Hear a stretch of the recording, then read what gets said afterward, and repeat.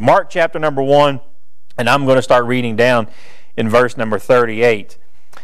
And Jesus says, and he tells them in verse 38, and he said, un, he said unto them, Let us go into the next towns, that I may preach there also, for therefore came I forth. And he preached in their synagogues throughout all Galilee, and cast out devils. And there came a leper to him, beseeching him, and kneeling down to him, and saying unto him, If thou wilt, thou canst make me clean.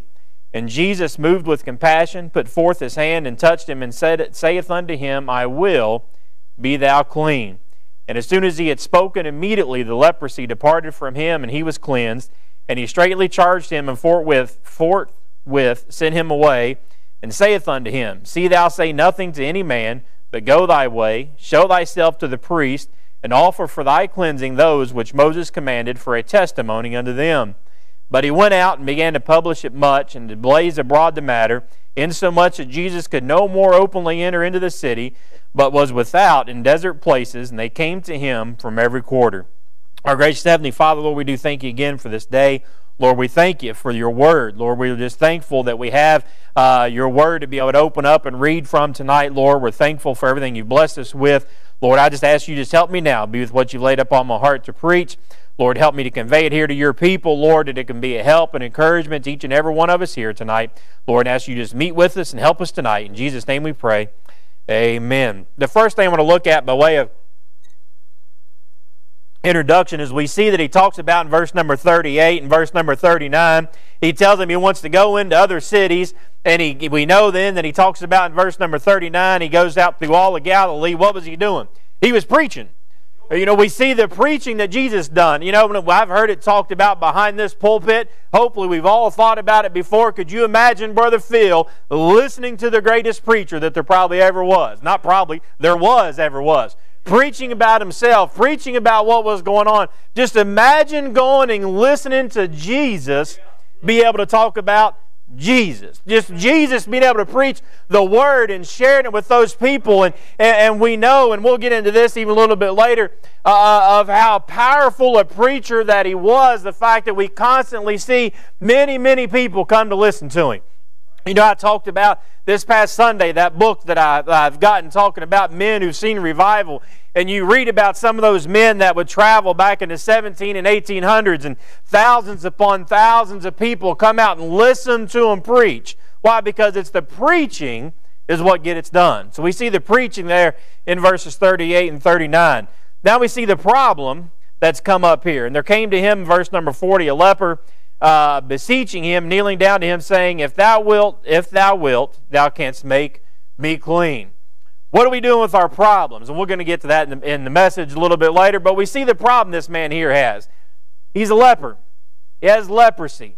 And we know back then that, eh, that we, we know that uh, what leprosy kind of symbolized, and we know that as a leper, you didn't have any dealings with anybody else. You were, you were cast off and left by yourself. So we see the problem, but the best answer to that problem is we see his placement in verse number 40, or yeah, verse number 40. What does he say? And kneeling down to him and saying unto him, If thou wilt, thou canst make me clean. Our problem too many times when we kneel down to pray isn't if thou wilt. It's just, Jesus, you can do this, you should do it. God, I want this, therefore you should do it. When was the last time we truly got down and just asked God, if thou wilt, I know you can do this. I know you can touch my family. I know you can touch my friend. I, I know you can open their eyes to salvation. Excuse me. I know you can help me. But if thou wilt, I request it. If thou wilt, Lord, I would ask for your help. And he gets down, we see as he's kneeling down before Jesus, telling him, if, if you'll do this, you can cleanse me. He didn't come to him uh, uh, uh, begging him, so to speak, just saying how much he needed it. He didn't come to him demanding that he make him clean. I mean, he could. What we read up here, we didn't read it uh, in verse number. We did read in verse number 39, and he preached in their synagogues throughout all Galilee and cast out devils. So now Jesus has gone through, we know, all through Galilee. No doubt, as he not only cast out devils, he's probably healed other people, he's probably touched other people, he's probably done all these things, these other people. This leper could have come, hey, look, you did this for everybody else, now you need to do this for me. That's not the attitude he came. But too many times that's our attitude we come. God, well, you've blessed somebody over here with a new car. How come I don't have one? God, you bless somebody over here with the new house. God, you bless somebody over here with this. How come I don't have this? We might not openly say it, but too many times we allow it to creep into the back of our mind and we think it, and then we begin to feel sorry for ourselves because we don't have the blessings that somebody else does.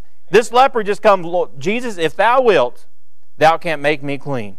And when he's willing to come and just humble himself and kneel down before the Lord, when we're willing to come and humble ourselves and kneel down before the Lord, we see the product of that faith. And Jesus moved with compassion in verse 41, put forth his hand and touched him and saith unto him, I will, be thou clean.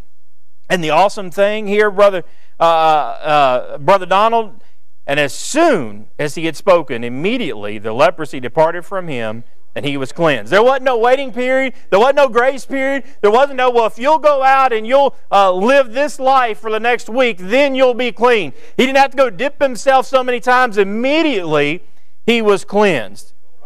And we see now in verse 44 and 45, we see the public that he goes out and tells. And saith unto him in verse 44, See thou say nothing to any man, but go thy way, show thyself to the priest, and offer thy cleansing those things which Moses commanded for a testimony unto them. But he went out and began to publish it much and to blaze abroad the matter, insomuch that Jesus could no more openly enter into the city, but was without in desert places, and they came to him from every quarter. Now I wonder, this just just me thinking out loud. This wasn't even the, the point of this uh, uh, uh little point right here in introduction. This hadn't even crossed my mind till now. I wonder how hard it would be for us to come in here on Sunday or Monday or any other day next week of revival if we had published it much the same way this leper had. Can we not say Jesus has done a lot for us? Can we not look at our lives and see not only just where He brought us from in saving us, just but the blessings that He's given us? I can tell you, Brother Phil, where I came from, and never in my wildest dreams would I ever have the things that I do now. God's been good to me. How much are we willing to publish that? If we was to publish that so we see everybody else and let everybody know what kind of God we serve. I mean, it's what he said. He went and published it uh, as much and to blaze abroad the matter. Just told everyone that he could come across. And everybody was so interested now, it says Jesus couldn't even go more go into the city. What if we was share that much? But I'm not going to preach on any of that why did that leper go to Jesus? It doesn't say Jesus went to him. In verse number 40, and there came a leper to him. When you read the stories, and we, and we, could have pulled multiple stories out when Jesus goes through preaching, we could have found all kinds of stories, and you see people come to him uh, uh, with devils and with leprosy here and, and blind, all these people. Why did they come to Jesus? Because they seen him because they were looking for him, because they seen him, because they had heard other people. And that's what I've already told you the title of the message. Can you see Jesus? Can you see Jesus? First off, can you see Jesus in your pardon? In Micah chapter number 7 and verse 18 and 19, he says, Who is a God like unto thee that pardoneth iniquity and passeth by the transgression of the remnant of his heritage? He retaineth not his anger forever because he delighteth in mercy. He will turn again. He will have compassion upon us. He will subdue our iniquities, and now will cast all their sins into the depths of the sea. Can you see Jesus in your pardon? If all you see is a baptism, you don't have that pardon.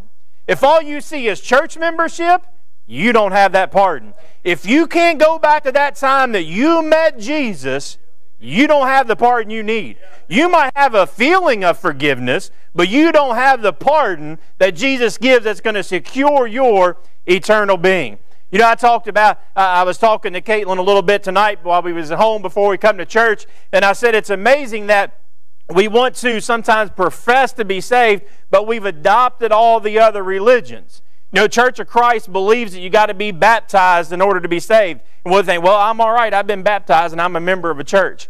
We know the Catholic Church thinks you have to be able to do so many good things. We think, well, if I've done so many good things, then I'm going to be all right. And it's amazing how much you listen to out in the world of how many people believe that one, Brother Brian. Well, my, my good outweighs my bad. I'm going to be okay. No, that's not it, folks. If you can't see Jesus in your pardon, you're in trouble. Plain and simple, you're going to die and spend eternity in an ever burning hell if you can't see Jesus in your pardon. Not only can you see Jesus in your pardon, can you see Jesus in your past. How many times, and we don't, you don't have to raise your hands. It might do us good to wake up a little bit tonight if you want to raise your hand. How many times have you ever been faced with something, Brother Seth, even though you're young, did you have those things that you went with through in your life and you thought, I don't know how I'm ever going to get through this? This is it. There's no way I'm going to get through this. But yet here we are. Here we are, Brother Phil. Why? Because Jesus. We, how many times and we go back to those things that we're faced with and we just we have no idea how we're going to get through it we have no idea how we're going to be able to face tomorrow we have no idea how we're going to be able to get past things but then Jesus, Brother Clint. How many times can you look back and see Jesus in your past? That you just you you truly thought there's just nothing I can do to get past this. And if we, too many if we think back to those times, what did we do? Hopefully we was like that leper. We kneeled down and just prayed and said, Lord, if thou wilt, you can help me. Lord, if thou wilt, you can take care of this bill. Lord, if thou wilt, you can help me get past this. Lord, if thou wilt, you can get me past whatever it is that you may be going through. Why? Because Jesus. You know, there's so many things that we, we go through in our life and, and we immediately, I don't want to say immediately, but we just begin to fall apart. We begin to twiddle our thumbs and bite our nails and, and just get so nervous thinking, how we gonna, how's this going to work out? I just don't can't see the light at the end of the tunnel. You know, I used to say over at the jail, if we see that light at the end of the tunnel, we're convinced it's a train about to run us over. But, but we, we fail to realize and remember sometimes He got us through last time. He'll get us through this time too. And if not, if, if, if, if it be His will that we're going to uh, pass on into eternity, well, then we win anyway. We're going to go spend eternity with Him. Can you see Jesus in your past? Too many times I think we try to look back at things in our life when Jesus has, has touched us and He's helped us get past something, and we want to look back and we immediately want to try to begin to just explain it away. Well, I didn't think I could, and I know this happened, but that's because this happened. That's because whatever may be happened, instead of giving credit where credit is due and seeing how the Lord works certain things out in our life. We all have things that we can go back and look and say there's no other way to explain it besides just the fact that God worked it out. God had his hands in things. God was able to, to work his way around whatever it may be. You know, it's, it's been now, um, this, this past week was a year ago that I can still remember just as much as yesterday, Brother Donald, walking out to get into the car that Sunday morning, Miss Mary coming to church. And Tina comes out and she gets in the car, and I look at her and I was like, What's Bella doing? And Bella walks to the door and just stands there and looks. And she just she's just looking at it like she was confused. Like, what is she doing? And then she comes out and she gets in the car instead of climbing up in the car and sitting down, she climbs up and she's in the seat and she's just like sitting there like she don't know how to turn around. And we come to church that morning and we keep her home that night and and, and just by the grace of God, instead of going, uh, you know, Miss Annette's the one that told us instead of coming here, go to children's and let them run more tests. We have no idea how close we was to her not being here today. But God, God gets you through those things. God knows exactly what we need. God knows how to answer those things that we don't even know about. That we can look back in the past. So therefore, why is it that we sweat so many things now, knowing what God has already brought us through? Can you see Jesus in your past? The third, can you see Jesus in your present? In Psalms chapter 119 and verse 105, Thy word is a lamp unto my feet and a light unto my path. Who's leading your path? Plain and simple. Who's leading your path right now?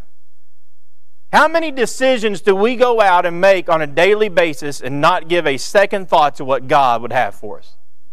How many times do we go to apply? I'm not, I'm not saying this to be, Brother Josh told me about this. this I'm not saying this to be mean. He said, Miss Brittany went and had a job interview tonight, so I'm not preaching to Miss Brittany, okay? I promise I'm not. How many times do we go put in for a job just because it might be more money? I told Brother Josh tonight, I have a job that's, that I drove by today, had, you know, cook a different way home because I had a couple errands to run. I seen this great, I mean, it's a huge banner hanging inside this factory. $23 an hour to start, Brother Phil, and $31 an hour after you're fully trained. Like, man, that's, that'd be pretty nice pay raise. But I couldn't do third shift again. I'm too old. I would die.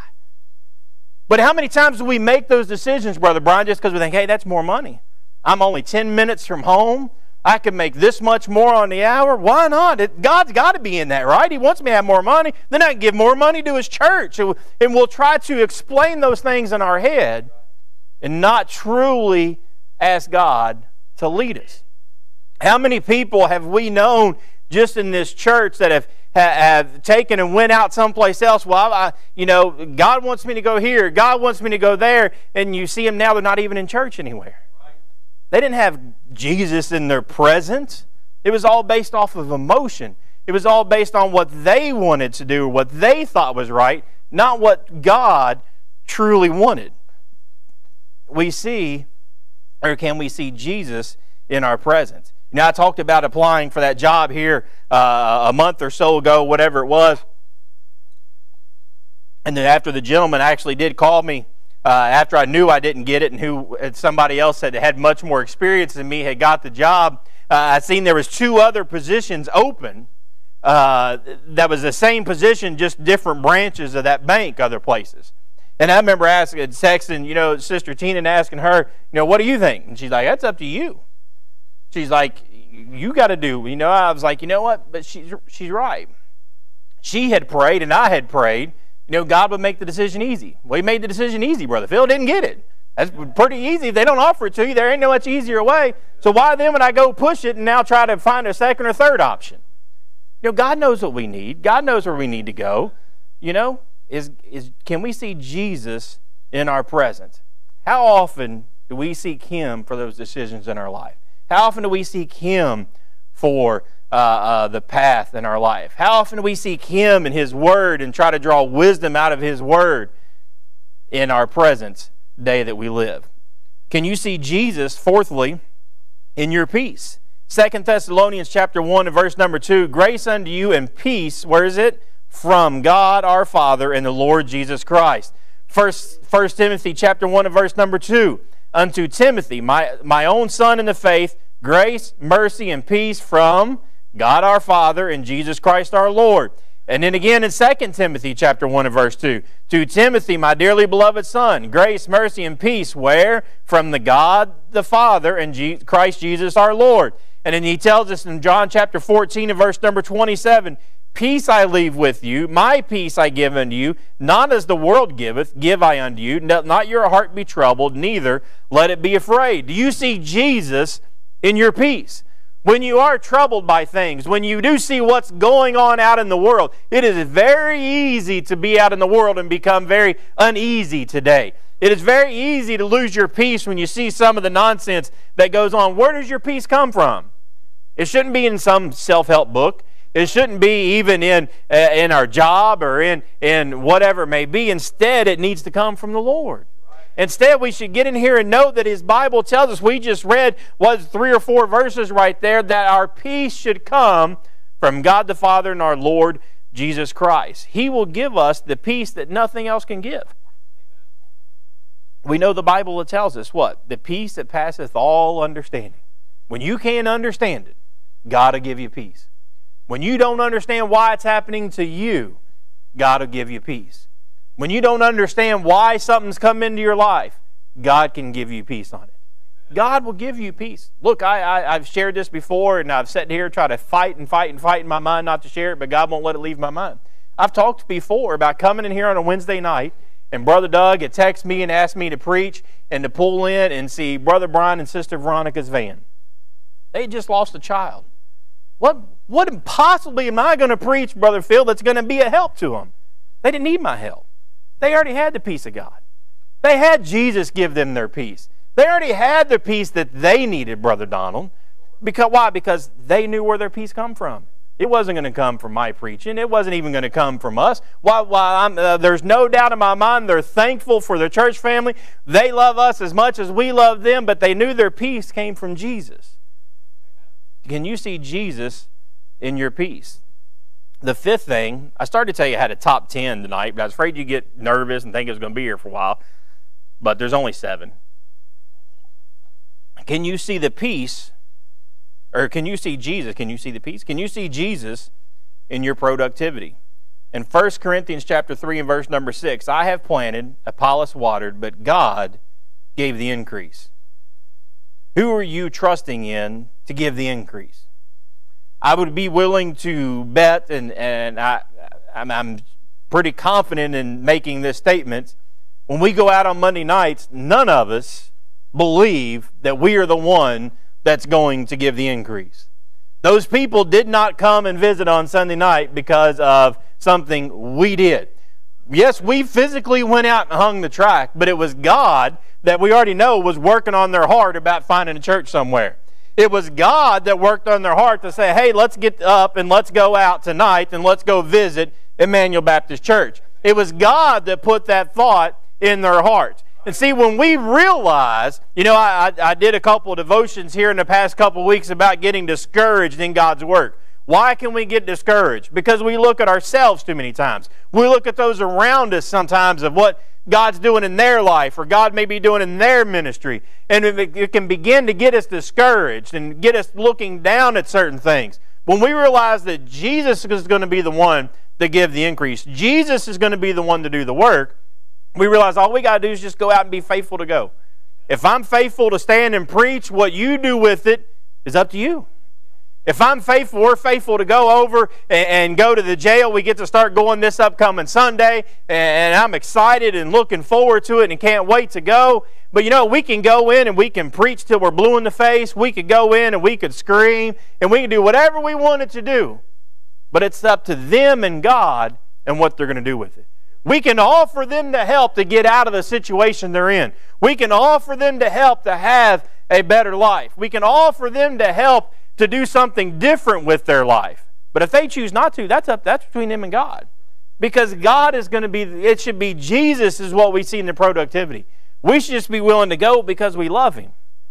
You know, I talked about uh, um, I, I, think now it's actually going to be in the uh, devotion for Friday possibly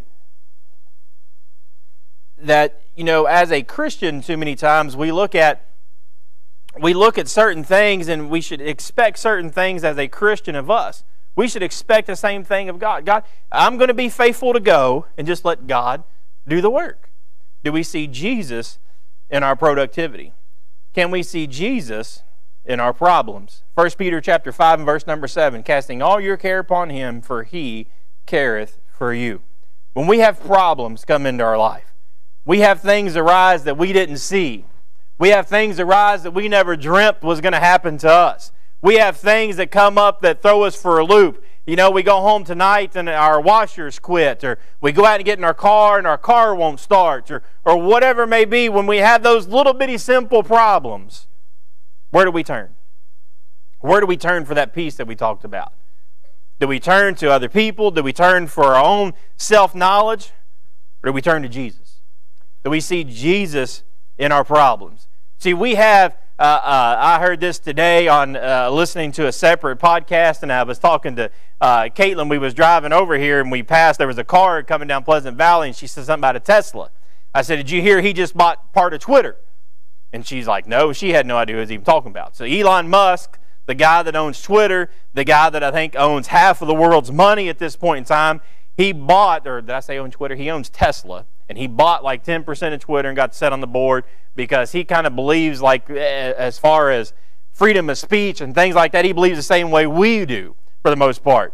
And so he bought it because he's going to stop uh, being able to try to keep them from um, wanting to silence anybody on the right, so to speak. If you're a conservative, they don't want anything to do with you. Um, and so, but I was listening to something today, and it was talking about he's not going to solve the world's problem. Until people get back to Jesus, it's not going to solve the world's problems. We can try to fix everything we want. You can try to, uh, we could try to lower gas prices and drop inflation, and we could try to do this, and we could, you could try to teach whatever you want to in schools, and you could try to do whatever you want. But until we get back to Jesus, we're not going to fix any of the problems. the best way for us to take care of everything that's going on is to see Jesus in our problems. How does God tell us to deal with certain things? How does God tell us to act outside of there? How does God tell us to do certain things when it comes to those decisions we make? Because our problems are only going to be taken care of by Jesus. We have too many people that want to offer their opinions on the problems that are going on in this world. If we get back to Jesus, that would take care of a lot of them. See, because when people, when you realize that, that Jesus needs to be the, in control of all of our problems, you realize that we should love each other a little differently than way we do. You know, it's not about judging people, it's about loving people. It's about showing them the love of Christ. It's about letting them see that there's something different for them instead of being confused on the things out in this world. Can you see Jesus in your problems? Let me say this lastly. Can you see Jesus in your plans for your future? In Proverbs chapter number 3 and verse number 6, in all thy ways acknowledge him, and he shall direct thy path. Just because you might see Jesus, as we talked about here earlier, you might see Jesus in your presence. Do you see him in your plans for your future? We might, we might be saying, whatever God wants me to do right now, I'm all for. What about what he wants you to do in your future? See, when Paul was on that road to Damascus, he said, Lord, what wilt thou have me to do? He didn't ask him, say, Lord, what do you want me to do right now? Lord, what wilt thou have me to do?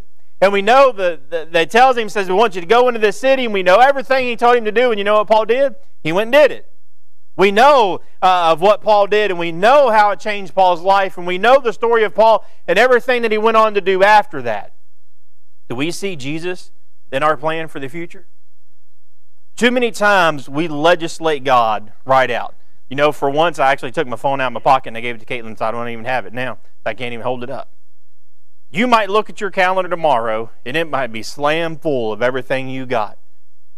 If your only way is to find time for God is to put it on your calendar, then you need to put Him on your calendar. You need to take that time and stop and say, I need to read. I need to take this time to stop and I need to pray. I need to take this time to stop and just spend some time with my God because He's been in my, He is my peace. He is taking care of my problems. He is what has been in my past. He is in my present. We need to make sure we spend time with Him and we allow Him to be in our future plans.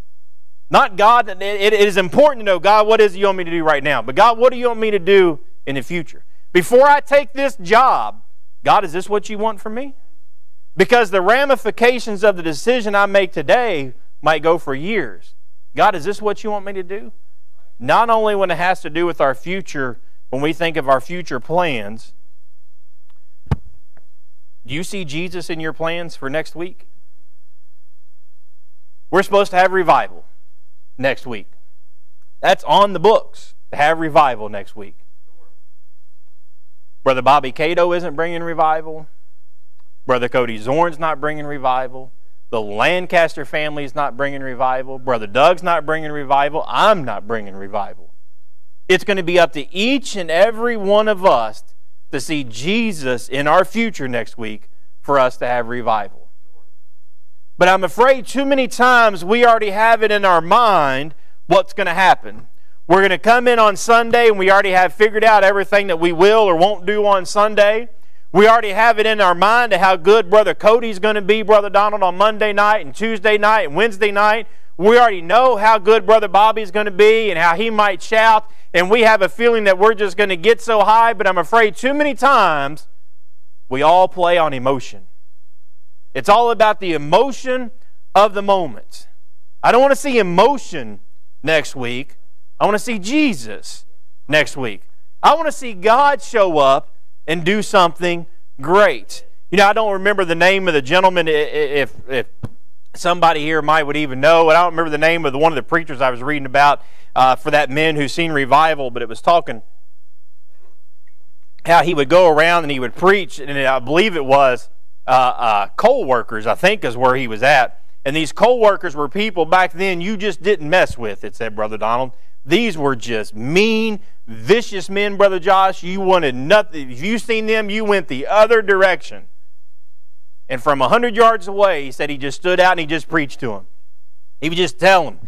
And I don't remember now exactly what the phrase it was, but pretty much you're going to die and go to hell if you don't get saved. And he just stood about 100 yards off or whatever and he preached to him. And he just hollered at him. And, then, and they slowly kept coming closer. And if I'm not mistaken, the way the story went, the next day, even more of them came out. And the next day, even more of them came out.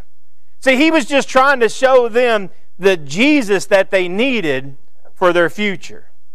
He was just trying to show them the Jesus that they needed in order to be saved. And we've seen and they seen a great revival there break out. And but how much do we see Jesus in revival? How much do we see next? Is he in our plans for next week? What about the week after? Brother Jordan alluded to it a little bit on Sunday night. Have we already decided exactly what we're going to do the week after? Have we already made up our mind? Well, hey, look, I, I, know that I can put off all my housework and I can put off my mowing and my cleaning and, and whatever may be next week because I'll get to it the week after. Well, why aren't we worried about just maybe having revival the week after? Or the week after that? Or the week after that? When was the last time we cleared off our calendar and say, God, we just want you to show up so much, I don't care if we go on for a month, two months, three months, whatever it may be. How much Jesus do we see in our future. Too many times, I'm afraid that we, we automatically want to plan out our future and make everything just go by the book, and we plan out our day, and we leave Jesus completely out of it. All these people, all these different stories we see, they're coming to Jesus. Why? Because they've seen Jesus. I know we can't literally see him. He's not going to literally walk through that door. But spiritually, we should see him every day. Spiritually, we should be looking for Him every day. He should be the first thing we think up uh, in the morning the last thing we think of when we go to bed at night. We should be desiring to see Jesus show up next week. Because He will, Brother Phil, if we desire Him enough. This world is in a mess. If we want to see anything done outside these walls, it's going to be up to us. We can't expect the world to want Jesus. We can't expect the world to make changes that we want to make them see if we're not willing for ourselves to go out and show them. If we're not willing to walk out of here uh, after every single night next week just being on fire for God, that when we walk into the workplace, they can say, Whoa, what happened to you last night? You're different. Where'd you, what, what happened to you last night? To be able to tell them we was in church. We got to go to church last night. You know, it's in the devotion for Friday, unless God changed my mind. I'm going to tell you half of it right now. But it's amazing to me how many people, when you talk about going to church on a Sunday night or a Wednesday night, you go to church on Wednesday night? Yeah. You know, and they want to treat it like, oh, can't believe they make you all go. They, well, they didn't make me go. Nobody made me come to church tonight. You know, nobody made me come. Yes, Brother Doug asked me to preach. I, hey, I, I could have texted Brother Randy and say, hey, you're going to have to give him, teach him something tonight. I'm staying home. Change my mind. No, we got to come here tonight. It's a privilege to come here tonight. But too many times, we don't see Jesus in our future. We've got everything planned out on what we think we want for our life, what we think we want for next week. We have everything planned out of what we think we want, and we completely leave Jesus out of the picture. Can you see Jesus tonight? Brother Clint, you come get a song of invitation. We'll invite you to come. If you've not seen him in your pardon, that's the most important thing you can have tonight. If you can't see Him in your part in that time you've given your life to Christ, we'll invite you to come. We'll take a Bible and show you what it means to be saved. But just can you see Jesus in your future? Can you see Jesus in all these things that we talked about? Well, he's picking out a song. Let's pray. Our gracious Heavenly Father, Lord, we do thank you again for this night, Lord. Lord, we're thankful for the Scriptures. We're thankful for the Word. Lord, we're thankful for uh, uh, Jesus, Lord. Uh, just so wonderful uh, name to be able to, to speak of. Lord, we're thankful for everything He's done in our life and in our hearts. Lord, we just ask you speak to hearts now during this invitation. In Jesus' name we pray. Amen. Did you know that you could receive a daily devotion every morning in your inbox? Head on over to ibcflorence.com and click on Daily Devotions to sign up today. And as always, thanks for listening.